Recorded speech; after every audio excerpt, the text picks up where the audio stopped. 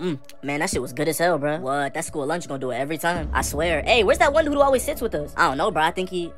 Yo, bro, why are you sitting all the way over there by yourself? You always sit with us. Oh, nah, bro. I'm just vibing by myself. You know, I'm an introvert. I don't really like to talk to people. Bro, what are you talking about? You talk to us every day. And why you took down all your pictures on Instagram and you got a black profile picture? What's up with you? Oh, I don't really want people knowing too much about me. You know, I'm moving in silence. Nah, um, excuse me, teacher. Um, I was wondering, like, while you teaching the whole class, can I like sit outside by myself?